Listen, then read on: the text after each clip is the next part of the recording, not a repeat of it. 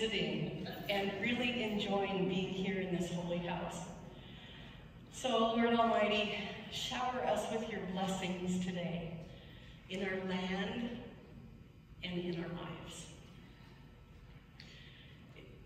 If, uh, if I haven't mentioned before, I'm Pastor Corby Johnson, and um, it's my pleasure to serve here. I've been here just a year. It doesn't seem like it, though, does it? well, in one respect, it was a long year, but in another. Um, I'd like to start today with offering each other our eyes and our smiles. Since we really can't shake hands yet, just look at each other and welcome each other into this house.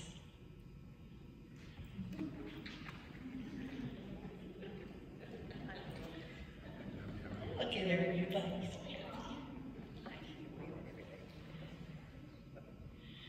Last week, we began a series of scripture and messages using Paul's letter to the Ephesians. In the first chapter of Ephesians, we learned that God chose us before the creation of the world to be holy and blameless in his sight. This week's scripture builds upon what we heard about the mystery of God. From Paul's letter to my heart and to your ears, you belong here. You belong here with as much right to the name Christian as anyone. God is building a home. He's using us all in what he is building. God used the apostles and the prophets for the foundation.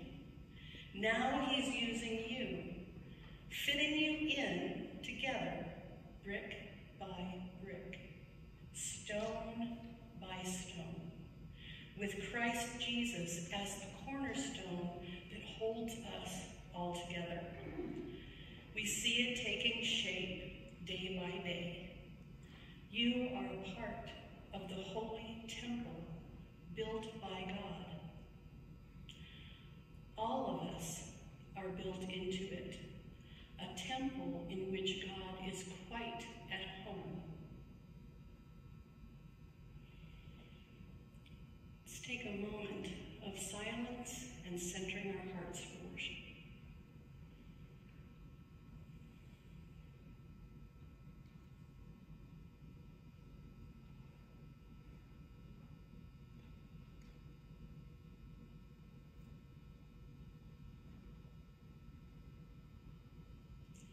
Holy God, your grace draws us to you inviting us into your presence.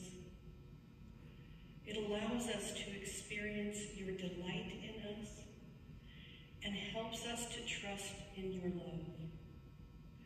Thank you for grace that amazes us, convicts us, invites us, and consoles us. May our lives and our worship be our grateful response for your love. Amen. Amen. Amen. Let's join our voices together in the call to worship. In the light of this day, we have gathered.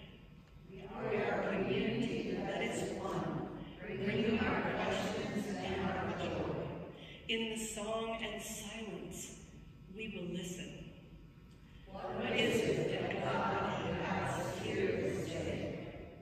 In our praise and our prayers, we will remember that God's glory shines around us and in So let us fill this place with the Father's glory as we sing, Shine, Jesus, shine.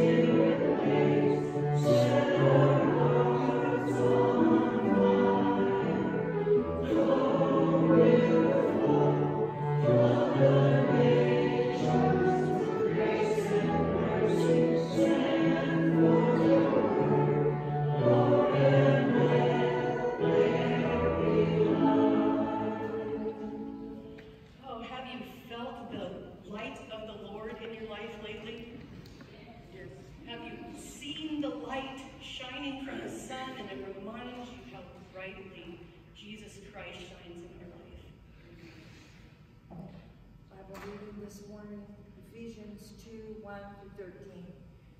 It wasn't so long ago that you were mirrored in that old stagnant life of sin. You let the world, which doesn't know the first thing about living, tell you how to live. You filled your lungs with polluted and unbelief, and then exhaled disobedience. We all did it, all of us doing it. What we felt like doing, when we felt like doing it. All of us in the same boat. It's a wonder God didn't lose his temper and do away with a whole lot of us. Instead, immense in mercy and with an incredible love, he embraced us. He took our sin-dead lives and made us alive in Christ.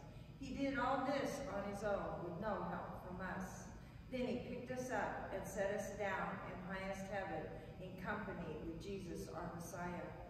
Now God has us where he wants us, with all the time in this world and the next to shower grace and kindness upon us in Christ Jesus. Saving is all his idea and all his work. All we do is trust him enough to let him do it. It's God's gift from start to finish. We don't play the major role. If we did, we'd probably go around bragging that we've done the whole thing. No, we never, we neither make nor save ourselves. God does both, the making and saving. He creates each of us by Christ Jesus to join him in the work he does, the good work he has gotten ready for us to do, work we have better be doing. But don't take any of this for granted. It was only yesterday that the outsiders to God's ways had no idea of any of this, didn't know the first thing about the way God works, hadn't the faintest idea of Christ. You knew nothing of that rich history of God's covenants and promises in Israel. Hadn't a clue about what God was doing in the world at large. Now, because of Christ, dying that death, shedding that blood, you who were once out of it altogether are in on everything. The word of the Lord. Thanks be to God. Thank you, Kitty. That might have sounded a little different than the New International Version or the King James Version or what version you like best. That was a message from Eugene Peterson's The Message. And he puts the scripture into words and phrases like we would use today. I do encourage you to get out your own Bible when you get home and read what it says in that one of feel the richness of what this message has for us today. For me, this um, scripture really brings the scripture alive for me. We started with the stagnant life of sin. We lived only for ourselves. We did what we felt like doing, when we felt like doing it. Yet, immense in mercy and with incredible love, God embraced us.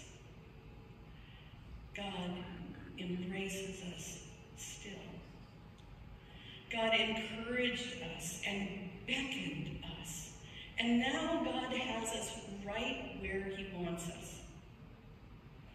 God creates each of us in Christ Jesus to join the work of salvation, the good work, the good work that God has gotten us ready to do all of our lives. And it's work that we better get doing. But don't take this salvation and life-giving gift for granted because it was only yesterday that you were outsiders to God and God's ways. With God's ways, you had no idea any of salvation. You didn't know the first thing about God's ways. Now you've got it all. And you know others who don't. It's human nature to gloat. To claim glory, even if it's just watching a team on TV and not actually playing, to take pride in others' actions, to revel in someone else's triumph, and to hope that their deeds will somehow rub off on us. A token, perhaps, that we can spend. Something that would make us look and feel worthy, valuable, and precious, and desirable. Where we may be able to sway human perspective of who we are and how awesome we live, we cannot earn the love of God. Love is a given. It's already there. God loved even the thought of you before your conception, before you were created, before you were born. And God knows you and loves you and doesn't have to seek you or chase you or wonder where you are. God knows you. God loves you. And God wants you. God delights in you and beckons you. Come. Come a little bit closer. By simply walking into this building today, you are choosing to learn more about yourself and about God. You are putting yourself in a position to hear how St. Paul, in his ignorance and unbelief, a man who was a persecutor of Christians, was changed from the inside out. Imagine how the people he was persecuting cried, how they cried out to God in faith. They cried about who Jesus is and what Jesus did, and about life blood in them, the life blood of Christ. I wonder how many times Paul had to hear the message of Jesus before he was dashed to the ground, before he was made blind and totally dependent on everyone else's kindness. Paul had a total change of heart and a change of life. A change that lit a fire in him that is still burning in each of us today as we hear his message. You see, Paul understood that to love Jesus is to share the miracle of faith with others who do not know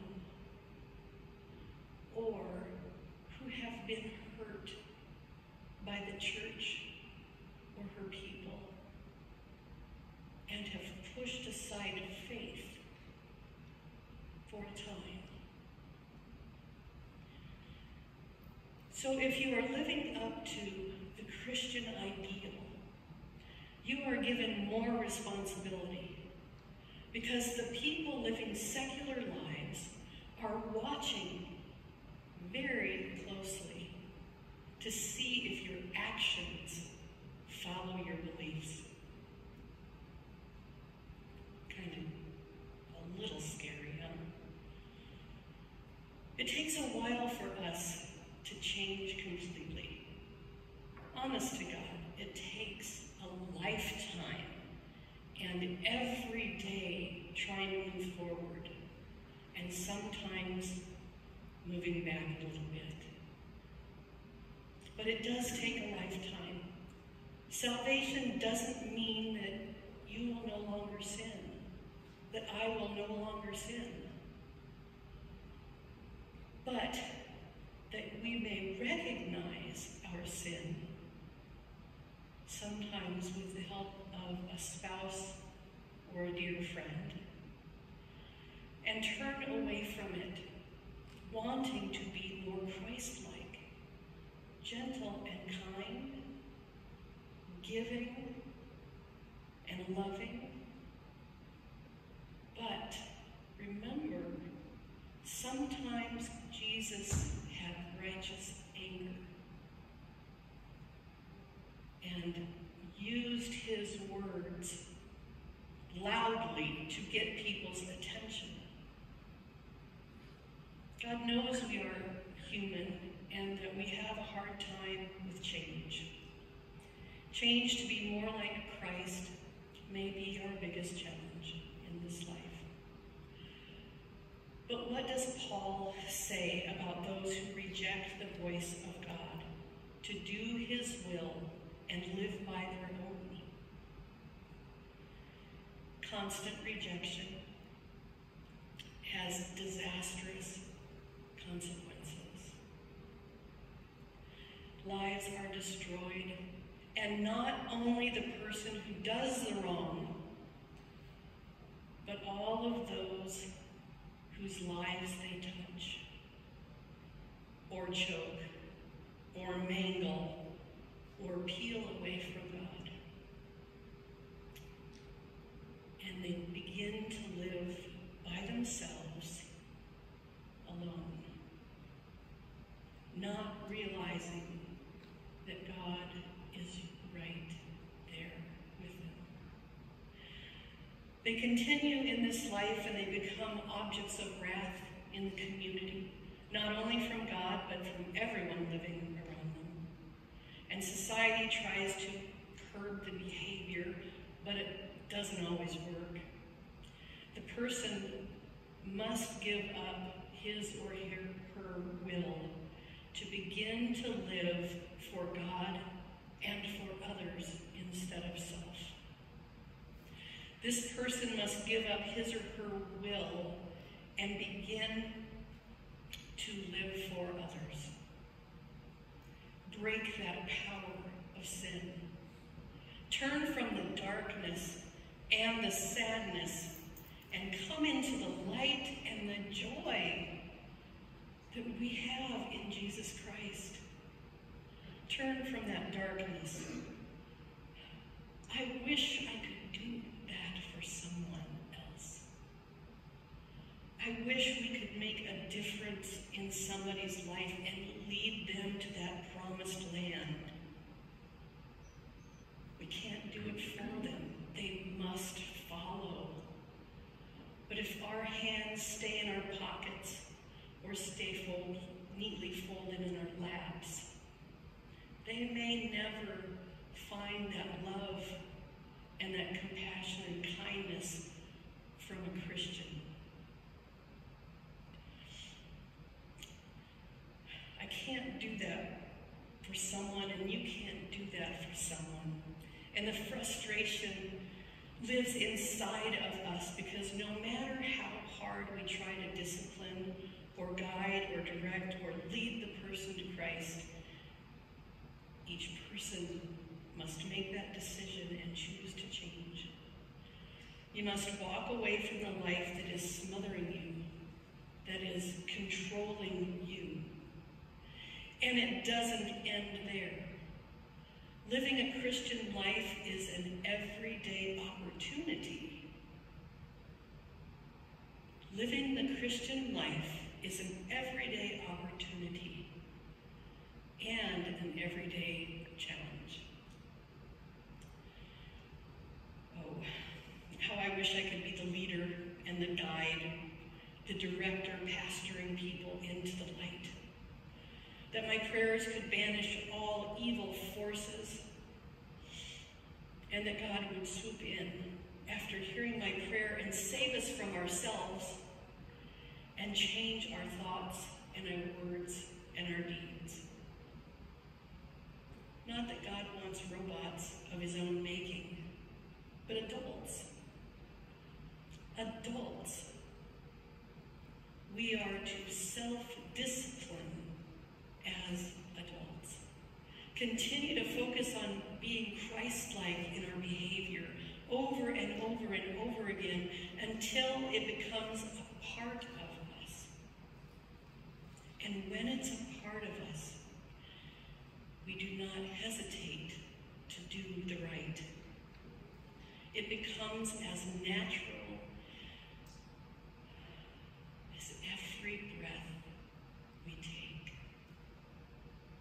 Breathe in that spirit with me, will you?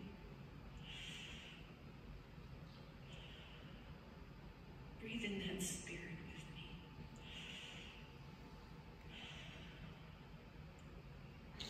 We need that feeling of the Spirit's presence in every breath we take. And when we misstep or fail or forget our own desire to do good, and fall back to who we once were, Jesus is there. Not with the rod of punishment, but with a helping hand to pick us up out of the mess that we have put ourselves in once again. We have the opportunity to be cleansed by Christ. It's a gift from God. I know this might sound out of the realm of mainline thinking, but we all need to pay attention to our own discomfort, our own worry, our own shame and embarrassment and humiliation when we when we we stumble. And thank God for these feelings of uneasiness that are our reminders of our desire to live a life of faith. We are God's workmanship.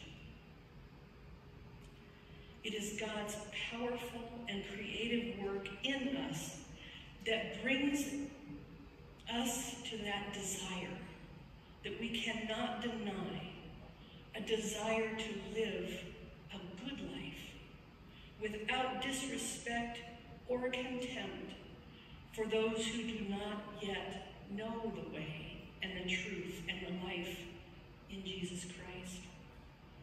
We need our God, whose intention is that our salvation through Jesus Christ will result in acts of mercy, in grace, in unity, and in service to our community and to the world. We're not merely saved for our own benefit, but we are saved to serve Jesus and God's people. And doing and in doing so, we build up the Spirit right here in this church. We welcome the Spirit, we uplift the Spirit, and we build up the Spirit in each and every one of us here. May that be so, and may we plead for faith alone. Amen.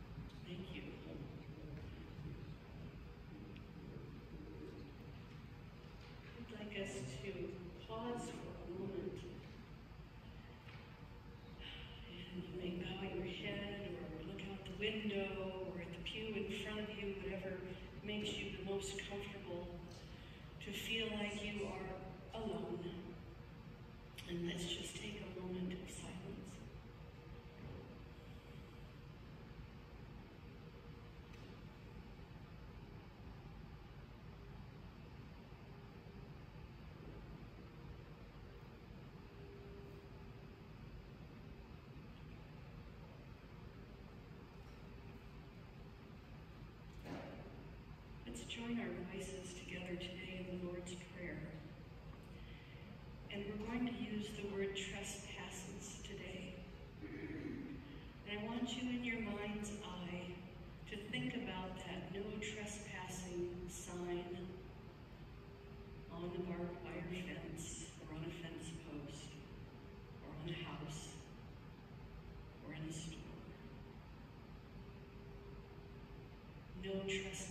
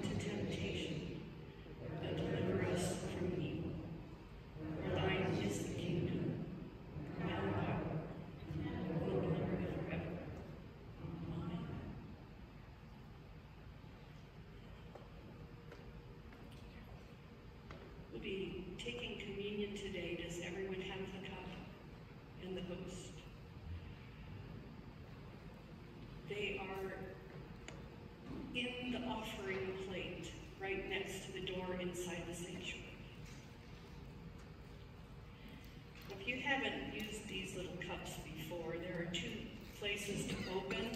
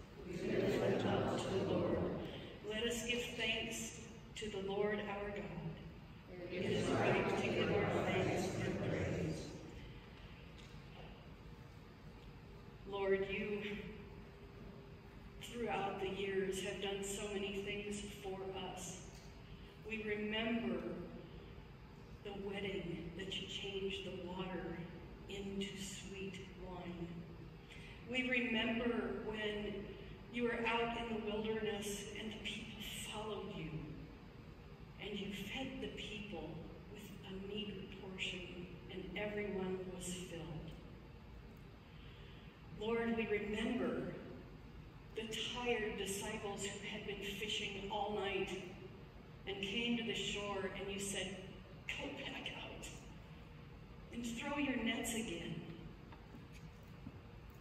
Your unbelief changed to curiosity and you went and the fish were so heavy it was breaking the nets. Lord, we also remember the story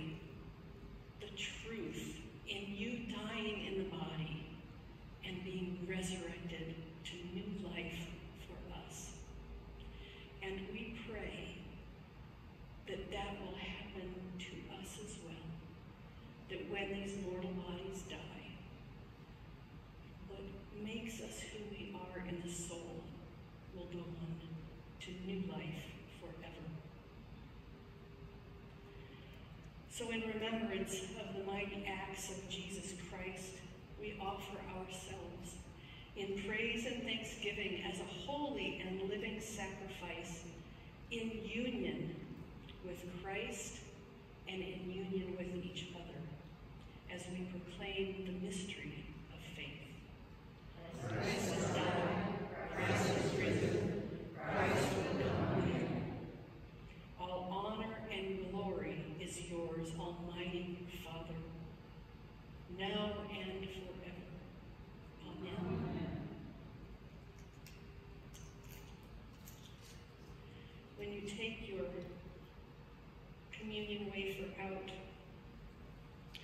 Would like you to break it.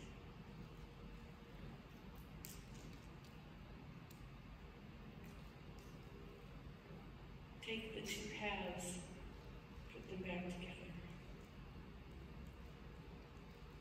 That's what God is doing for us today. That's what the sacrifice of Jesus has done for us. Body of Christ given for us.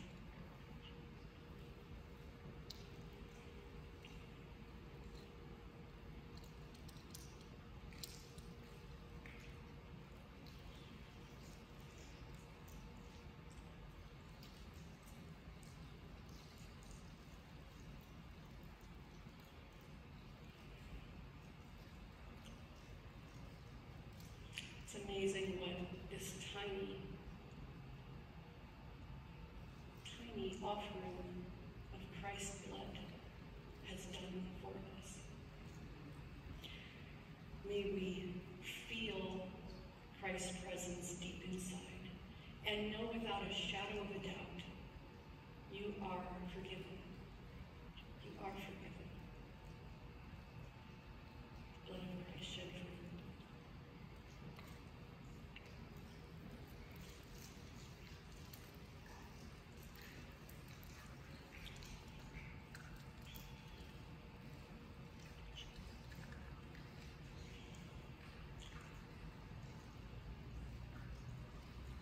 Kelly, can you bring the offering plate up to me?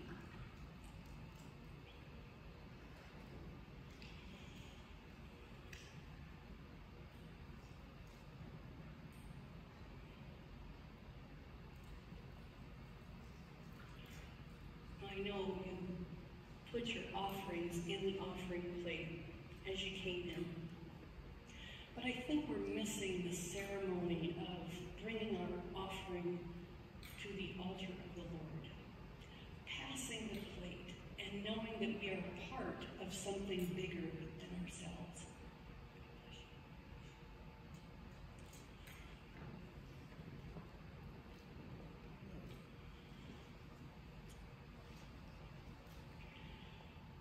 Almighty God, of giver of every good and perfect gift, Teach us to render to you all that we have and all that we are, that we may praise you not with our lips only, but with our whole lives, turning the duties of sorrows and the joys of all of our days. Through our Savior, Jesus Christ, accept our offering, Lord, and show us how you would like us to use it to reach out in this community and the world and bring people to faith in Jesus Christ.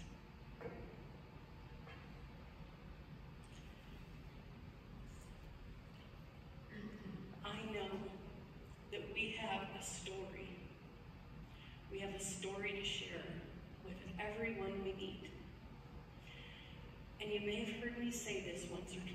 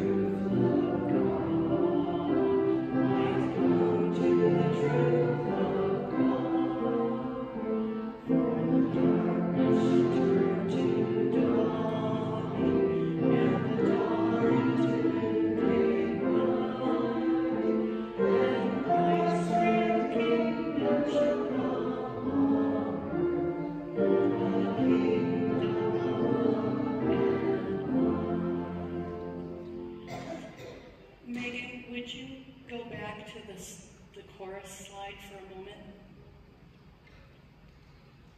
Yes, okay.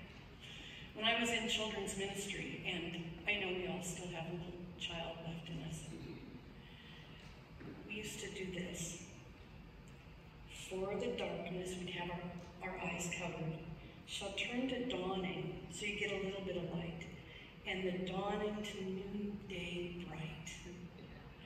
You might not want to do that here today, but think about that this week. And Christ's great kingdom shall come to earth, the kingdom of love and light.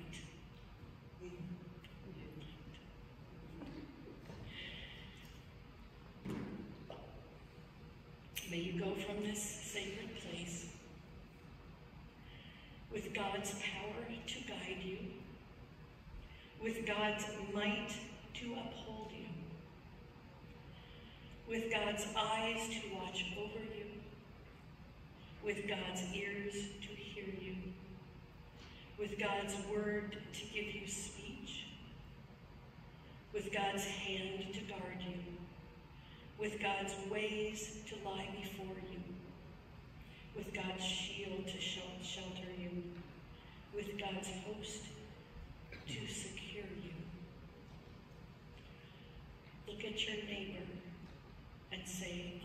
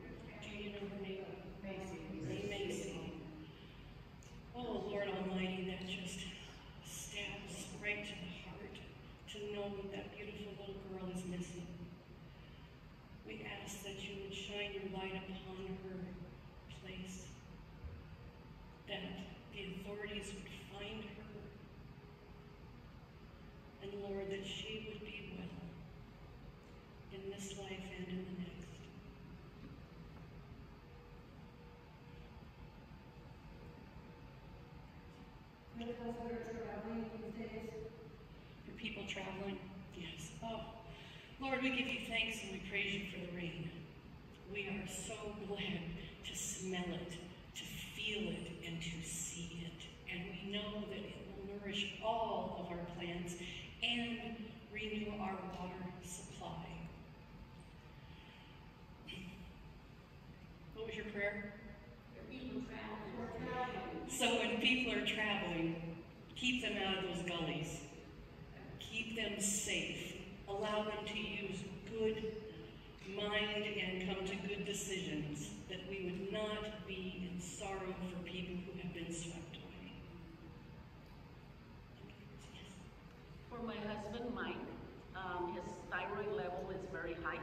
He's having a couple of tests. He had one Friday, and he's having nuclear medicine on Thursday and Friday. Just pray that everything goes well and to not have me worry so much and give those